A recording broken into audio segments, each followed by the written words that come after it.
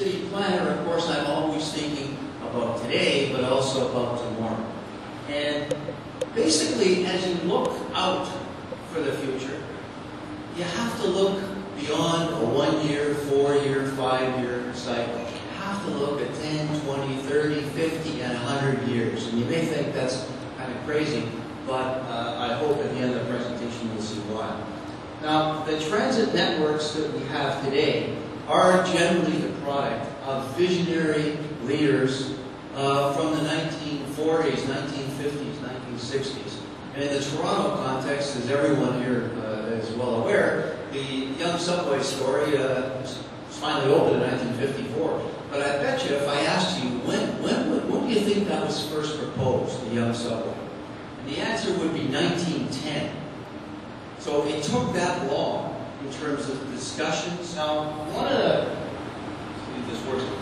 One, one of the things that I think you're very familiar with in, in this region is, of course, even though you're technically not part of the Greater Toronto Hamilton area, you're sure part of the Greater Toronto region that will worship, view, from an economic perspective, from a practical perspective, in many, many ways. We all know this plan of places to grow that the province came out with several years ago. I think it's, it's a positive, bold uh, uh, plan that is in fact based on some very sound principles that are starting to show a lot of uh, my staff about. You want to be a floater or a swimmer? And if you're a floater, you may have a nice float, but you kind of bounce around the pool. You don't really go anywhere, right? You want to have a clear direction on where you want to go and how you're going to get there. So for me, status quo is not the answer. We have to embark on both. Sort of a pretty good representation. They want more choice. A lot of people who live in 905 and outside uh, the outer regions don't have that choice. They must drive. In fact, they must own two cars.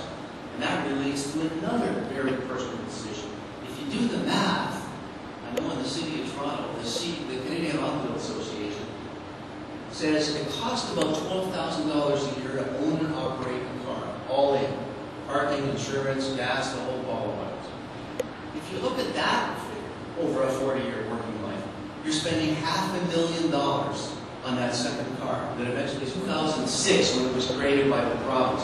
At that point in time, all the, the board was comprised totally of mayors. And the city of Toronto got four positions because